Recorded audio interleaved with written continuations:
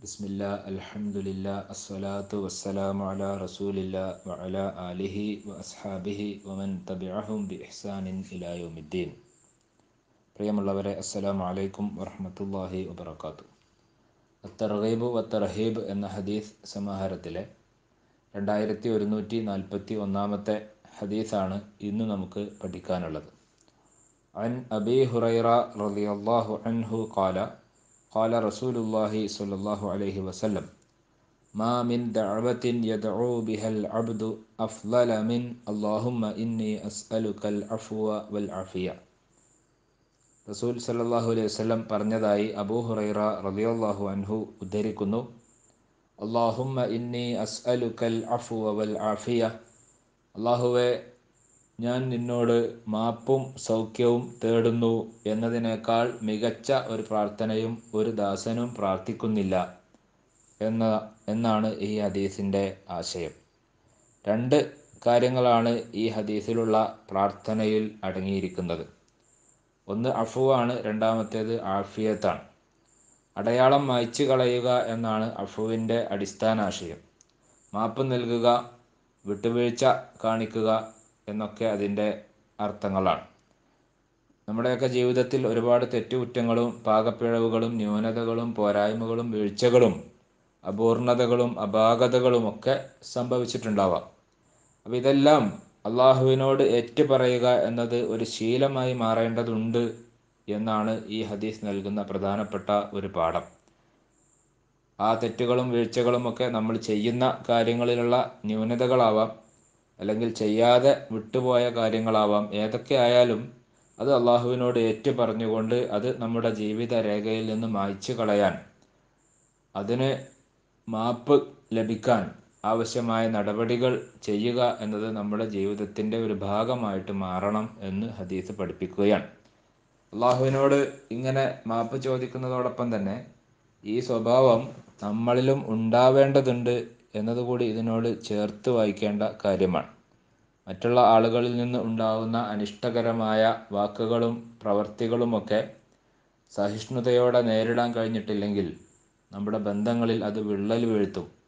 നമ്മുടെ കോപത്തെ നിയന്ത്രിക്കാനും തെറ്റുകൾക്ക് മാപ്പ് കൊടുത്ത് വിട്ടുവീഴ്ചാ സമീപനം സ്വീകരിക്കാനും വിശ്വാസികൾക്ക് കഴിയണമെന്ന് വിശുദ്ധ ഖുർആാനും പ്രവാചക വചനങ്ങളുമൊക്കെ പഠിപ്പിക്കുന്നുണ്ട്.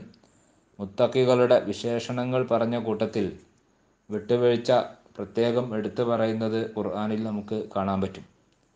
വീട്ടിനകത്തും പുറത്തുമൊക്കെ വിട്ടുവീഴ്ചയും മാപ്പ് നൽകലുമൊക്കെ ശീലമാക്കണമെന്നും ഖുർആൻ നമ്മളെ ഉണർത്തുന്നുണ്ട്. റസൂൽ സല്ലാഹു അലൈഹി വസ്ലം തന്നെയാണ് ഈ മാപ്പ് നൽകലിന്റെ ഏറ്റവും മികച്ച മാതൃക. തന്നെയും അനുചരന്മാരെയും ഒക്കെ പല നിലക്കും കഠിനമായി ക്രൂരമായി ദ്രോഹിച്ച മക്കയിൽ നിന്ന് ആട്ടി ഓടിച്ച ഇസ്ലാമിന്റെ എതിരാളികൾക്ക് റസൂൽ ഉജ്ജ്വലമായിട്ട് മാപ്പ് കൊടുത്തത് ചരിത്രത്തിൽ നമ്മൾ വായിച്ചതാണ്. ഇതുപോലെ പല സന്ദർഭങ്ങളിലും റസൂൽ എതിരാളികൾക്ക് റസൂലിനെ ദ്രോഹിച്ചവർക്കൊക്കെ മാപ്പ് കൊടുത്തത് ചരിത്രത്തിൽ നമുക്ക് കാണാൻ പറ്റും.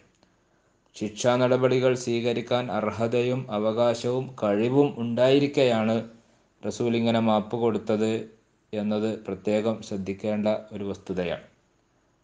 മഹദി ആയിഷ റലിയല്ലാഹു അൻഹയ്ക്കെതിരെ അപവാദ പ്രചാരണമുണ്ടായ ഘട്ടത്തിൽ മഹദിയുടെ പിതാവായ അബൂബക്കർ റലിയല്ലാഹു അൻഹുവിന്റെ സാമ്പത്തിക സഹായങ്ങൾ പറ്റിയിരുന്ന ചില ആളുകളും സാമ്പത്തിക സഹായങ്ങൾ ലഭിച്ചിരുന്ന ചിലരും ഈ അപവാദ പ്രചാരണത്തിൽ പങ്കാളികളായിരുന്നു. അതുകൊണ്ട് തന്നെ അബൂബക്കർ അലിയല്ലാഹു അൻഹു തീരുമാനിക്കുകയാണ് ഇനി അവർക്ക് സഹായമൊന്നും നൽകേണ്ടതില്ല എന്ന്. പക്ഷേ ആ തീരുമാനം അള്ളാഹുവിന് ഇഷ്ടപ്പെട്ടില്ല. അള്ളാഹു ഇടപെട്ടു. വൽ യഴഫു വൽ യസ്ഫഹു എന്നൊക്കെ പറഞ്ഞുകൊണ്ട് ഇങ്ങനെയുള്ള തെറ്റുകളെ നമ്മൾ തെറ്റുകൾക്ക് മാപ്പ് കൊടുക്കണം. വിട്ടുവീഴ്ചയോടുകൂടി അതിനെ സമീപിക്കണം. അലാ തൊഹിബൂന അയ്യഫിർ അള്ളാഹുലക്കും അള്ളാഹു നിങ്ങൾക്ക് പുറത്തു തരണം എന്ന് നിങ്ങൾ ആഗ്രഹിക്കുന്നില്ലേ? അതുപോലെ മറ്റുള്ളവരുടെ ഭാഗത്തു നിന്നുണ്ടാവുന്ന വീഴ്ചകൾ നിങ്ങളും പുറത്തു കൊടുക്കണം അവർക്ക് മാപ്പ് കൊടുക്കണം എന്ന പാഠം ഈ ചരിത്ര പശ്ചാത്തലത്തിൽ നിന്നുകൊണ്ട് അള്ളാഹു നമ്മളെ പഠിപ്പിക്കുകയാണ്. അള്ളാഹുവിന്റെ ഒരു വിശേഷണം കൂടിയാണ് അഫുവ് എന്നുള്ളത്. ഒരിക്കൽ ആയിഷ അള്ളാഹു അൻഹ റസൂലിനോട് ചോദിക്കുകയാണ് റസൂലെ ലൈലത്തുൽ ഖദറിൽ ആ ലൈലത്തുൽ ഖദർ എന്നാണ് എന്ന് എനിക്ക് മനസ്സിലായി കഴിഞ്ഞാൽ ഞാൻ എന്താണ് ആ ദിവസം പറയേണ്ടത്? റസൂൽ പഠിപ്പിക്കുകയാണ് അള്ളാഹുമ്മ ഇന്നക അഫുവൻ തൊഹിബുൽ അഫുവ ഫാഫു അന്നി. ആയിഷ റളിയല്ലാഹു അൻഹയോട് പഠി പറയുകയാണ്. ആ ദിവസത്തിൽ പറയേണ്ടത് അള്ളാഹുവെ നീ മാപ്പ് നൽകുന്നവനാണല്ലോ. മാപ്പ് നൽകൽ നിനക്ക് ഇഷ്ടമാണല്ലോ. അതുകൊണ്ട് എനിക്ക് മാപ്പ് തരണമേ എന്നുള്ള പ്രാർത്ഥന വർദ്ധിപ്പിക്കാനാണ് റസൂൽ ഉപദേശിക്കുന്നത്. അതുപോലെ ഈ വചനത്തിലെ നേരത്തെ പറഞ്ഞ ഹദീസിലെ രണ്ടാമത്തെ ഭാഗത്ത് നമ്മൾ കാണുന്നത് അള്ളാഹുവിനോട് നമ്മൾ സൗഖ്യം തേടുന്നതാണ് ആഫിയത്ത് തേടുന്നതാണ്. ചില ഹദീസുകളിൽ അതിന് മുആഫാത്ത് എന്ന പദമാണ് നമുക്ക് കാണാൻ സാധിക്കുക. സൗഖ്യം എന്ന് പറഞ്ഞാൽ അത് ശാരീരികമായ സൗഖ്യവും മാനസികമായ സൗഖ്യവും അതുപോലെ തന്നെ സാമ്പത്തികമായ അഭിവൃദ്ധിയും ഒക്കെ ഉൾക്കൊള്ളുന്നതാണ്. അതോടൊപ്പം തന്നെ നമ്മുടെ ദീനിയായ ജീവിതം നയിക്കുന്നതിന് തടസ്സമാവുന്ന എല്ലാ കാര്യങ്ങളിൽ നിന്നുള്ള മോചനം കൂടി ഉൾക്കൊള്ളുന്ന ഒരു പദമാണ് ആഫിയത്ത് എന്നുള്ളത്. എല്ലാ നിലക്കുമുള്ള ദുരിതങ്ങളിൽ നിന്നും ദുരന്തങ്ങളിൽ നിന്നും രോഗങ്ങളിൽ നിന്നും ഒക്കെ രക്ഷപ്പെട്ടുകൊണ്ട് സുഖവും ക്ഷേമവും സന്തോഷവും ഒക്കെ നിറഞ്ഞ ഒരു ജീവിതമുണ്ടാവണം എന്നതാണ് ആ പ്രാർത്ഥനയുടെ ആകെത്തുക എന്ന് പറയുന്നത്. അത് ഇഹത്തിലും പരത്തിലും നമുക്ക് ആവശ്യമുള്ള സംഗതിയാണ്. ഈ നേരത്തെ പറഞ്ഞ നമ്മുടെ ഈ ഹദീസ് ഉൾക്കൊള്ളുന്ന അധ്യായത്തിൽ തന്നെ പല വചനങ്ങളും ഇതുമായി ബന്ധപ്പെട്ട് നമുക്ക് കാണാൻ പറ്റും. ഒരിക്കൽ അബൂബക്കർ അള്ളാഹു അൻഹു മിമ്പറിൽ കയറുകയാണ്. മിമ്പറിൽ നിന്നുകൊണ്ട് അദ്ദേഹം ഇങ്ങനെ കരയുകയാണ്. എന്നിട്ട് അദ്ദേഹം ഓർത്തു പോവുകയാണ്. അദ്ദേഹം പറയുന്നു റസൂൽ സലല്ലാഹു അലൈഹി വസ്ലം ഇങ്ങനെ മിമ്പറിൽ കയറി നിന്നുകൊണ്ട് കരഞ്ഞുകൊണ്ട് പറഞ്ഞ ഒരു സംഗതിയുണ്ട്. സലുല്ലാഹ അൽ അഫുവ സലുല്ലാഹ അൽ അഫുവ വൽ ആഫിയ.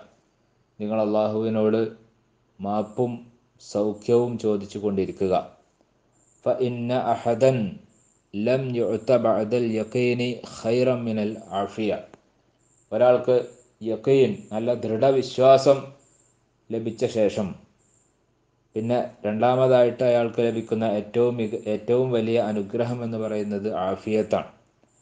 ദൃഢവിശ്വാസം കഴിഞ്ഞാൽ പിന്നെ ഒരാൾക്ക് ലഭിക്കുന്ന ഏറ്റവും വലിയ അനുഗ്രഹം ജീവിത സൗഖ്യമാണ് എന്ന് റസൂൽ അതിനെ തുടർ അതിനെ തുടർന്നുകൊണ്ട് പറഞ്ഞതായി ഹദീസിൽ കാണാൻ പറ്റും. അതുപോലെ തന്നെ മറ്റൊരു വചനമുള്ളത്.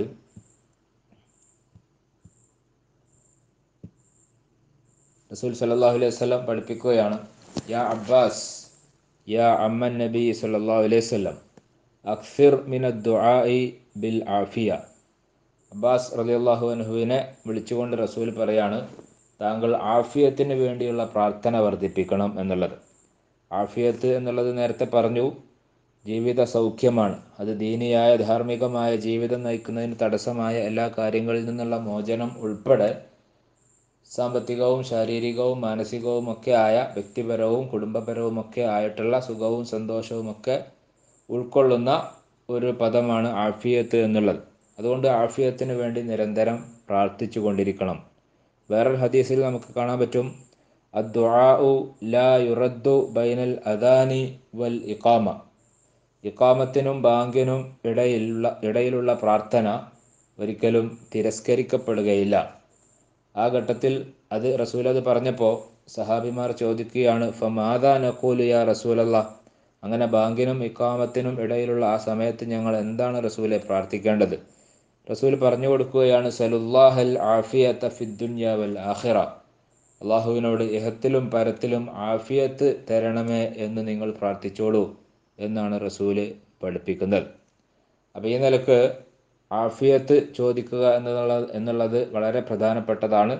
അഫുവ് ചോദിക്കലും വളരെ പ്രധാനപ്പെട്ടതാണ്. അതാണ് ആദ്യം പറഞ്ഞ ഹദീസിലുള്ളത്. അഫുവും ആഫിയത്തും ചോദിക്കുന്നതിനേക്കാൾ പ്രാധാന്യം മറ്റൊന്നിനുമില്ല എന്ന നിലയ്ക്ക് ഇതിന്റെ പ്രാധാന്യം ബോധ്യപ്പെടുത്തുകയാണ് ചെയ്യുന്നത്. അപ്പോൾ ആ നിലയ്ക്ക് നമ്മൾ നിരന്തരം അള്ളാഹുവിനോട് നമ്മളിൽ സംഭവിച്ചു പോയ വീഴ്ചകൾക്ക് മാപ്പ് തരാനും ഒപ്പം ദീനിയായ ജീവിതം സന്തോഷത്തോടു കൂടി നയിക്കാനും അങ്ങനെ പരലോകത്തും സന്തോഷം ലഭിക്കുന്ന ഒരവസ്ഥ ഉണ്ടാവാനും വേണ്ടി അള്ളാഹുവിനോട് നിരന്തരം പ്രാർത്ഥിച്ചു കൊണ്ടിരിക്കണം എന്നാണ് റസൂൽ നമ്മളെ പഠിപ്പിക്കുന്നത്. ആ അർത്ഥത്തിൽ അള്ളാഹുമ്മ ഇന്നി അസ് അലുക്കൽ അഫുവ വൽ ആഫിയ. അള്ളാഹുവെ ഞാൻ നിന്നോട് മാപ്പും സൗഖ്യവും ചോദിക്കുന്നു എന്നുള്ള പ്രാർത്ഥന നമ്മൾ വർദ്ധിപ്പിക്കണം എന്നുള്ള ഈ ഹദീസുകളിലൂടെ ലഭിക്കുന്ന പാഠം. നമ്മുടെ ജീവിതത്തിൽ പകർത്താൻ അള്ളാഹു നമ്മെ എല്ലാവരെയും സഹായിക്കുമാറാവട്ടെ. വാഹിർ ദഅവാന അനിൽഹമുല്ലാഹി റബ്ബിൽ ആലമീൻ. അസ്സലാമു അലൈക്കും വറഹ്മത്തുള്ളാഹി വബറകാതുഹു.